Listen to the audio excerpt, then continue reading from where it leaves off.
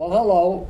Welcome to Older but Wiser. Today, Lorraine, how are you today? I'm good. Uh, Not bad for a little a little cool this time of the year. Yeah. But look who we have with us today. I'm looking. Paula Abbott. It's so nice to have you Oh, with us. thank you for having What- me. From Thank you. Channel 4, but it's That's right. also called CBS. Right, right. And uh, WBZ. WBZ. And uh, you do the news early in the morning. I do, I do. From My, now on, when I can't sleep at night, I'm going to be waiting to turn that on at 5 o'clock. we are on right at 5 a.m. And uh, my partner David Wade and I every morning have all the news, weather, and traffic. He's and new, it's a lot of fun. He is. He is. Just joined the team this Yes. fall.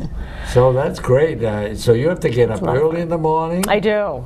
I do. uh, I get up at about 2:30 in the morning. Wow. Tell me, do you do the consumer report? Is that the one you do? I at do five? too. I do later on in the afternoon at five in the at five p.m. Yeah. People see a lot of the stories that I do that are on consumer and business issues, and uh, it's a lot of fun Yeah. to be able to work on those stories too, Yeah, because those are separate. Yeah. things that you know people are really interested in, care about. that So, you can look out for. yes, No, yeah, nobody would believe looking at you. You're the mother of four children. that's right. I was. uh, two girls and two I have boys. two girls and two boys. Two teenagers. Getting right? big. I know. I still feel like a new mother. I still Yeah. feel like I should have these little toddlers running around, but they're getting big on me. I had my children very young Yeah. in my 20s, and uh, they're wonderful. I It's know. great. That's good. And that's the nice thing about working the early, early morning shift. A lot of people, you know, they would dread that, having to get up at 2.30 in the morning. But for me, it's nice because even though I go to bed early and I get up very early, then I'm able to be home in the afternoon and pick them up from school. And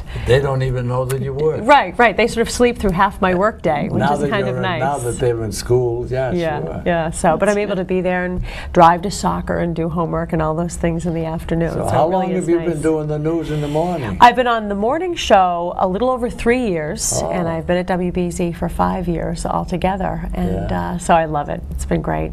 I have a nephew that works uh, for Channel 4. He- Oh, really? uh, Greg uh, Razzo. is his Oh yes, yes, yes. Yeah, See him every day, Yeah. all the time. He's Yeah. wonderful. Wait till I tell him I interviewed That's Paula right. Ebben. He'll say, "Oh, her.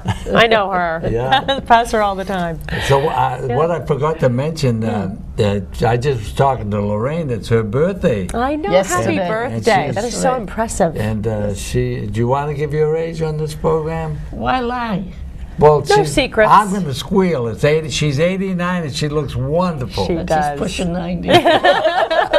This is when you start crowing hopefully. about your age, yeah, right? Yeah. No, I've always told my age. That's well, good for you. You know, yeah. So you should be that's proud uh, of it. Yeah. So uh, you you got a busy schedule at the station. I do. I do. I understand from our conversation you have to help put the news together and. Uh, Well, when I come in in the morning, I usually try to get there to the newsroom by about 3:30 or so. Of course, on the days when there's snow or a storm, we get in a little bit earlier, and we have writers and producers who are there overnight. Once the 11 o'clock news goes off, and Then- people are sort of going to bed, there's a whole group of people that arrive right Yeah, before the 11 o'clock news, and they kind of take over from Yeah. those producers, and they follow anything that happens overnight, and a lot happens overnight, as we see when you had your terrible disaster The here in Everett know. just a while ago. You know, when I arrived at 3:30, it was fully engulfed in flames and underway. So by that hour, they called David Wade. We sent him up here, and he was here with a live camera crew at one location, and our reporter Sarah Kanji was at another, and then I was back at the station. So they were here gathering information, and we were covering the rest of the news stories of the day. So that by the time we got in, on the air at five people all over the state, New England, and your city could see what was going on right here. And and they're sending pictures back to you. Right. And, and the satellite trucks will come up with the photographer. And we have great. We have this one gentleman. His name's Nat Whittemore. He's worked at WBZ for over 40 years, and he is out in the night getting footage of getting. Picking You know, up. anytime there's a fire, he listens to the scanners. He knows all the policemen and the firemen, and he knows what's happening before anybody else, and uh, so he can be there. So Yeah. that day, you know, he was here in Everett before anybody else, and had fantastic pictures of what had happened. And uh, that's the great thing I think about, especially local TV news, is you can really bring people there. You know, they can yeah. be up and really Yeah. uh, see what's happening right Not away. only that, it's such a pleasure to have people that are popular like you on our show. One of the reasons is, you know, a lot of the people we have for guests that Yeah. haven't got the ability to produce words and speak the way you people who are in the business of speaking on the television. Sure, And sure. such a pleasure to have Oh, you here oh, with you're us. so nice to say that. It's great. You've been doing this for 10 years now, this Oh, show? 10 years, yeah. That's fantastic. My family, I can do it because there's no audience. my, my family says, I'm sick of looking at you. I don't even want to watch the You're a star. You're they, everywhere. They just kid, with, they kid along with me. Well, that's what happens to me. All my family and friends see me every day, but I don't get to see them necessarily Yeah, all, all the time. That's how they But get. they can keep track of you. Did you go to college around here? I did. I went to Boston College. Really? Oh. And that's where I met my husband. And he actually is in broadcasting as well. He's the voice of Boston College basketball on the radio. Would you He believe that? does. His name's Bill Ebben, and he does the games with Ted Sarandis on WEEI. Wow, that's when people listen to the basketball games, and he works in advertising. So It'd be strange if you ever went there when my, uh, I had two cousins were there. One was Oh, with really? Good Morning America, Oh wow! uh, Melon O'Keefe. So you have a history with television. No, Yeah. I, I have a show business Yeah, history. you do. My father, my father, his brother was Jack Haley's partner on the team at Crafts and Haley Oh, on the old vaudeville circuit. Oh, isn't that fun? Yeah. That is great. I have a grandson that just got accepted in BC. He was all excited. Impressive. Yeah. That is impressive It these is. days. The, a- the number of applicants. I remember I applied the year Doug Flutie won the Heisman Trophy. Oh, my niece yeah. was there then. Oh, it was hard. And at that time, I remember there were 16,000 applicants for Yeah. 2,000 spaces in my class. Last year, there were something like 38,000 applications.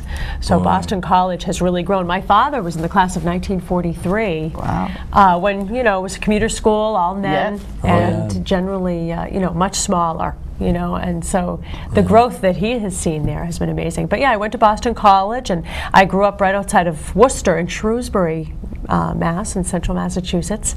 I went to Notre Dame Academy in Worcester, Oh. which was uh, where all my sisters and I were educated. So I've always been a, a You went- local girl. Immaculate Conception local girl. I did. Yeah. But my That's husband's from the. Midwest. My husband grew Oh, up in Michigan, and he always said once he came to Boston, he never wanted to Never leave wanted to this leave. area. Yeah. Oh, see? Yeah, there Well, aren't he- many places in the country like He must be the pleased Boston with the area. woman that he picked Well, for it's his true. wife. Something was calling him to the East Coast. Clearly, he saw that he needed to be here. So, Oh, that was wonderful, yeah. That's Yeah. great because Yeah. I think it's wonderful when marriages are for a long time and there's kids. yeah. Oh, yeah. Yeah. And he's wonderful, and it's I'm very lucky. You know, when I'm not there in the morning, he's there with the children, and uh, you know, it's just nice the way the schedule is able to work out. Yeah. Both of our work Isn't schedules. it ironic how things can work out? If I you think, know. If you have positive thinking, That's true. You true. can make You things work. That's true. Because I sort of have a different had a different route into television news than a lot of people, and I did stay home. And I had my children in my 20s. I stayed home full time.